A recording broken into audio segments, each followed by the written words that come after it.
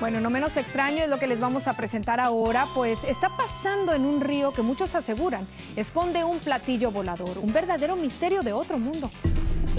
Estas imágenes de un supuesto ser de otro planeta caminando por la orilla de este río están causando conmoción. Por eso, los habitantes pidieron a expertos explorar el lugar. Fue una foto bastante natural. Fue una foto bastante natural. Y no parece que fuese hecho por Photoshop, parece que fuese legítima. Y no parece que fuese hecho por Photoshop. En estos momentos, expertos en imágenes analizan la veracidad de la foto del supuesto ser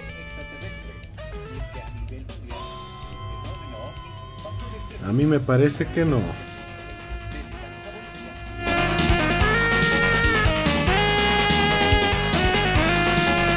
Muchachos, hace una semana un programa en decadencia de fenómenos paranormales y noticias amarillistas que muchos conocemos volvió a ser el mamarracho del siglo, pero esta vez no perderé la oportunidad de pasar un buen rato con ustedes.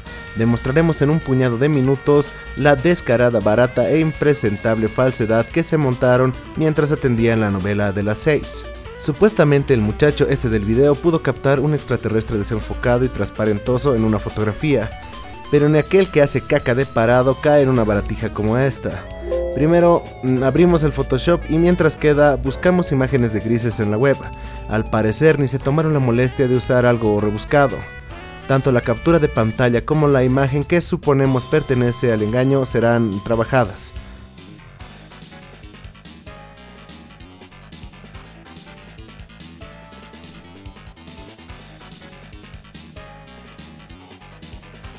Separamos a este engendro y lo guardamos para superponerlo a la captura.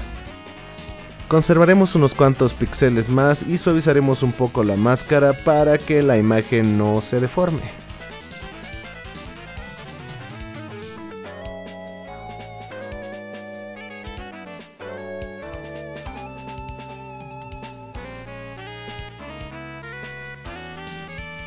Ahora pegamos nuestro trabajo y lo redimensionamos además de cambiarle la angulación para que quede muy similar a la captura empleada.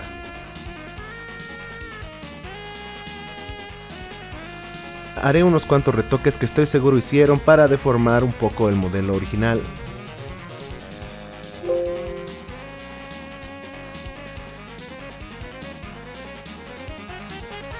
Aquí nada del otro mundo un par de pinceles y algo de clonación para incrementar el tamaño de la cabeza.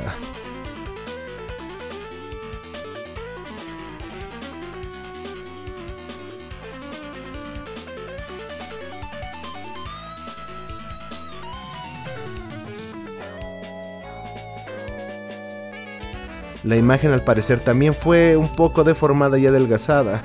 Esto es solo un juego de niños.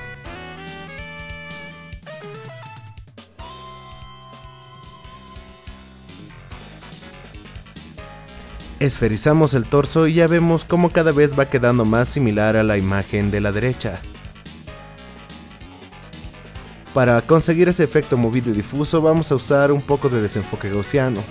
Compartan conmigo más videos o fotografías que encuentren por ahí que quieran eh, desmentir, incluso podríamos hacer una nueva y divertida serie en el canal con estos matatiempos.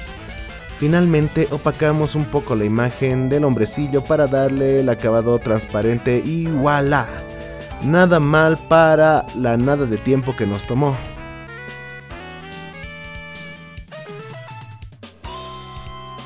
Ojalá no me toque un strike por copyright o algo parecido. Igual muchachos conmigo, que sea hasta la próxima. Y no parece que fuese hecho por Photoshop. En estos momentos Expertos en imágenes analizan la veracidad de la foto del supuesto ser extraterrestre.